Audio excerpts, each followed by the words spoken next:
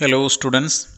In our last class we have discussed price discrimination, its forms, features and necessary conditions. Now we are going to explain the equilibrium under discriminating monopoly. We know that price discrimination is the process of selling same commodity at different prices in different markets. To identify the equilibrium condition of a discriminating monopoly, we are having some assumptions. Let us initially assume that there are two markets, market A and market B. That means the total market have been divided into two segments on the basis of elasticity of demand. And we know that elasticity of demand in market A is more elastic. That means A is having more elastic demand curve. In case of B, there is less elastic demand curve. Therefore, the total market has been divided into A and B on the basis of elasticity of demand. We are having more elastic demand in market A and less elastic demand in market B. This is the initial condition. Now the monopolist need to take certain decision. The first and most important decision is how much output is to be produced how much output is to be produced. That is the most important decision. Then second one is the allocation of these output to different markets market a and market b. We know that there are two markets a and b. The question is that how much of output q is to be allocated to market a and market b? And third question what the price is to be charged from market a and market b what should be the prices that is to be charged from market A and market B. These are the three basic questions faced by a monopolist or discriminating monopolist. We know that the basic condition of equilibrium in all the market is MC is equal to MR. Here the producer is getting marginal revenue from two markets. Therefore, the initial condition of equilibrium is equal to AMR that is aggregate marginal revenue that must be equal to marginal cost. This is the first condition of equilibrium. This aggregate marginal revenue is the marginal revenue of A plus marginal revenue of B. Or we can say that is the lateral summation of marginal revenue curves of different markets. Therefore, on the base of this equilibrium, we can identify the total quantity to be produced by the monopolist. The next is the allocation of the total output to different markets. For the allocation, we are considering the following conditions. Initially, we are allocating to market A. Therefore, MRA must be equal to EMC. This is the second condition. On the basis of this condition, the monopolist is allocating total output to market A and in the same manner MRB is equal to EMC that is the condition of allocation to market B. Therefore, marginal revenues from different markets should be equal to the marginal cost of total production. Therefore, we have the final equilibrium condition AMR aggregate marginal revenue that is equal to the marginal revenue of A that is equal to the marginal revenue of B that is equal to the marginal cost. This is the final equilibrium condition of the discriminating monopolist. Now let us move to the diagrammatic uh, explanation of this concept. Initially we are having three segments. The initial x-axis and y-axis we are representing quantity and price, revenue and cost respectively. Here in segment A we are representing market A and in segment B we are representing market B and in market C we are showing the combination of market A and market B. This is the condition of the monopoly firm. We are going to draw different revenue curves, marginal revenue and average revenue curves in uh, market A, in market B and the combined marginal revenue in market C. It is clear from the figure that the elasticity of demand or AR curve is less in market A and the elasticity of AR and MR curve is more in market B.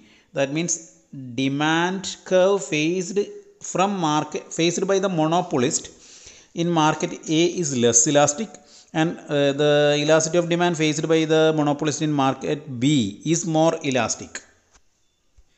By combining the marginal revenues of two markets A and B, we have derived aggregate mark, uh, marginal revenue curve in of the monopolist in segment C and it has a kink. We have combined the different elasticities of segment A and segment B.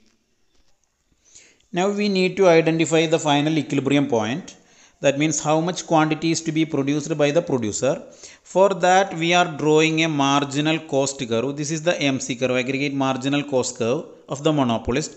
And we have identified an equilibrium point with the OQ level of output at point R. Now we need to identify the amount of output to be allocated to different markets. For the same, we have to equate the marginal revenue from each market. For that, we have drawn a straight line from point R which touches both the marginal revenue curves of segment A and segment B. Through this line, we have equated uh, marginal revenue of A with marginal revenue of B which is ultimately equal to the aggregate marginal revenue which will be ultimately equal to marginal cost. Now we are going to plot the quantities allocated to each segment. Uh, initially from to market A to segment A we have identified equilibrium point at R1 and the product is sold OQ quantity is sold at Q1 P1 price in the market A.